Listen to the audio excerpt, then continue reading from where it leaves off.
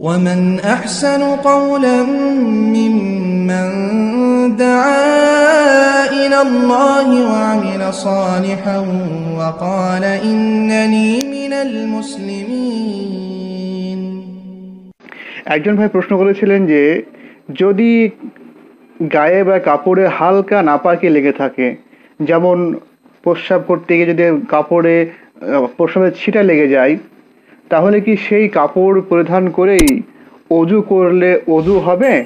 নাকি অজু করার আগে ওই কাপড়টাকে চেঞ্জ করতে হবে বা যেখানে প্রস্রাব লেগেছে সেটা ধৌত করতে হবে? এটা ভাই প্রশ্ন ছিল। দেখুন, আপনি যেটাকে হালকা বলে মনে করছেন প্রস্রাবের ছিটা, এটা হালকা নয়। এটা খুবই গুরুত্বপূর্ণ বিষয়। আসলে আমাদের ধারণাতে একটা ভুল জিনিস রয়েছে। আমরা যে বীর্য শুক্রণ আমরা সেটাকেই খুব মানে ভারী নাপাকে মনে করি বা সেটাকেই কঠিন নাপাকে বলে মনে করি। কিন্তু আসলে বীর্যটা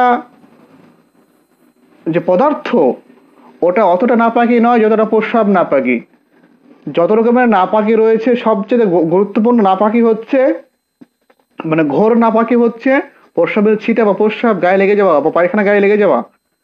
তো সেই জন্যে প্রস্রাবটাকে হালকা নাপাকি বললে চলবে না, এটা খুবই গুরুত্বপূর্ণ নাপাকি এবং এটা খুবই ঘোর নাপাকি।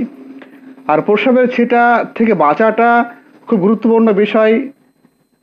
বাঁচতেই হবে, কেননা প্রসবের ছিটা থেকে যদি আপনি না বাঁচতে পারেন, তাহলে এটা হচ্ছে কেয়ামতের মাঠে কবরে আজাবের শাস্তির কারণ।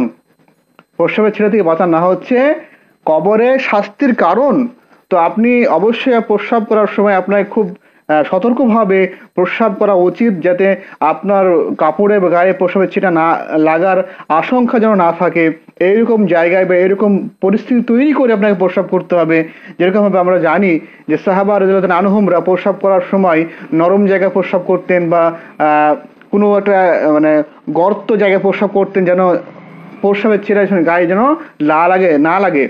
তো সাহাবারা জানাহুমরা এবং রসুল্লাহ এই ব্যাপারে সতর্ক অবলম্বন করেছিলেন এবং সতর্ক করেছেন যে বানি ইসরাইলের দুজন ব্যক্তি যে কবরে শাস্তির ঘটনা, তার মধ্যে একজনের একজনের শাস্তি হচ্ছিল কবরে, যে ওই ব্যক্তি প্রস্রাবের ছেড়া থেকে বাঁচত না বা প্রস্রাবের ছেড়াকে কেউ কিছু মনেই করতো, এই প্রস্রাবের ছেড়ে কী হবে? তো এই অবহেলার কারণে ওই ব্যক্তির কবরে আজাব হচ্ছিল। সেই মুখারি হাদিস নাম্বার দুশো আঠারো এবং ছ হাজার বাহান্ন সেই মুসলিম হাদিস নম্বর দুশো বিরানব্বই। তো প্রসবের ছিটা ছিটা হালকা জিনিস নয় এবং এরা খুব মানে ঘোর অপরাধ এবং অবশ্যই প্রসবের ছিটা থেকে বাঁচার আপ্রাণ চেষ্টা করতে হবে। এবং প্রস্রাব করতে গেলে এমনভাবে প্রস্রাব করতে হবে যেন আপনার শরীরে প্রস্রাব লাগার আশঙ্কা না থাকে। তারপরেও যদি আপনার গায়ে বা কাপড়ে কোথাও প্রস্রাব লেগে যায়, তাহলে সেটাকে ধৌত করতে হবে। তাহলে সেটাকে আগে ধৌত করতে হবে, তারপরে অজু করতে হবে। কেননা আমরা জানি যে রসুল্লাহ সাল্লামকে যখন জিজ্ঞাসা করা হচ্ছে হয়তো আলী রাজাহান হাদিসে বর্ণনা তিনি বর্ণনা করছেন যে কলা কুন্ত রাজুলান মগদান আমি এমন একজন ব্যক্তি ছিলাম যার তরল পদার্থ নির্গত হতো। অর্থাৎ বীর্য নয়, বীর্য থেকে একটা তরল পদার্থ, যেটাকে আমরা ধাতু বলি, এই ধরনের একটা কিছু পদার্থ নির্গত হতো। তো সে সম্পর্কে তো আলী রাজু আনহু সম্পর্কে জামাই ছিলেন। তো তিনি লজ্জায় জিজ্ঞাসা করতে পারছিলেন না। তো তিনি কি করলেন? একজন ব্যক্তিকে দিয়ে বললেন যে, তুমি গিয়ে রসুলের সঙ্গে জিজ্ঞাসা করবে। তো সেই ব্যক্তি আসলেন, জিজ্ঞাসা করতে, সেই ব্যক্তি রসুলের সঙ্গে জিজ্ঞাসা করলেন যে, এরকম যদি কোনো ব্যক্তির মানে তরল পদার্থ নির্গত হয়, তাহলে সে ব্যক্তি কি করবে? রসুল্লাহ আসলাম তাকে বললেন যে ইয়াকসিল জেকারহু সে যেন প্রথমে তার লজ্জাস্থানটাকে ধৌত করবে ওয়াতাবদ্দা তারপরে উদু করবে। তো সেই মুসলিম হাদিস নাম্বার তিনশো তিন এবং তিনশো ছেচল্লিশ সেই নাসাই হাদিস নাম্বার একশো তিপ্পান্ন। তো রসুল্লাহ সাল্লাহ সাল্লাম এখানে প্রথমে কি বললেন? যে প্রথমে নাপাকিটাকে দূর করবে। প্রথমে নাপাকিটাকে দূর করবে, তারপরে উদু করবে। তো যদি আপনার দেহে বা কোথাও কোনো নাপাকি লেগে থাকে, অপবিত্র জিনিস লেগে থাকে, তাহলে যদি আপনার দেহে হয় তাহলে সেটাকে ধৌত করতে হবে।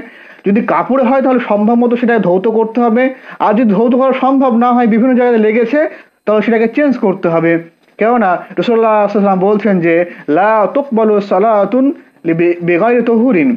পবিত্রতা ছাড়া কোনো ব্যক্তির সালাদ কবুল হবে না।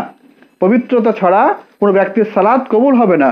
এই পবিত্রতা বলতে ওলামা মহাদ্দিসগণ দুটি ব্যাখ্যা নিয়েছেন। কেউ বলছেন এখানে এখানে পবিত্রতা বলতে অজুকে বুঝিয়েছেন, যে অজু ছাড়া সালাত হবেন না। আর কেউ বলছেন, না, এখানে পবিত্র বলতে মানে কাপড় বা দেহের কোনো জায়গায় অপবিত্র থাকার কথা বলা হয়েছে। তো মোট কথা হচ্ছে যে পবিত্রতা সালাদের ক্ষেত্রে খুব ইম্পর্টেন্ট জিনিস। তো আপনাকে পবিত্র হতে হবে আগে, তারপর ওজো করতে হবে, তারপর আপনাকে সালাদ আদায় করতে হবে। সহি তিরমিজি হাদেশ নাম্বার এক, সহি মুসলিম হাদেশ নাম্বার দুশো চব্বিশ। তো মোট কথা হচ্ছে যে আপনার দেহে বা কাপড়ে যদি প্রস্রাব বা অন্য কোনো পবিত্র, অপবিত্র জিনিস লেগে যায়, তাহলে প্রথমে আপনাকে সেই পবিত্র, অপবিত্র জিনিসটাকে দেহে থেকে বা কাপড় থেকে দূর করতে হবে কিংবা কাপড়টাকে চেঞ্জ করতে হবে। তারপরে আপনি উদু করে সালাদ আদায় করবেন। যদিও এই ব্যাপারে হালকা মতপার্থক্য আছে যে কাপড় আগে চেঞ্জ করতে হবে না, আগে উদু করতে হবে। সেদিকে যাচ্ছে না আমি। মত থেকে ঊর্ধ্বে যে আমাদের জানা দরকার সেটা হচ্ছে যে যেহেতু নাপাকি থাকলে সাত হবে না, নাপাকি দূর করতেই হবে, সেজন্য আপনি আগে নাপাকিটা দূর করবেন, তারপরে উজু করবেন, তারপরে সালাত আদায় করবেন। হাদামা আইন্দ আল্লাহ আলম আসসালামু আলাইকুম রহমতুল্লাহ বরকাতুহ।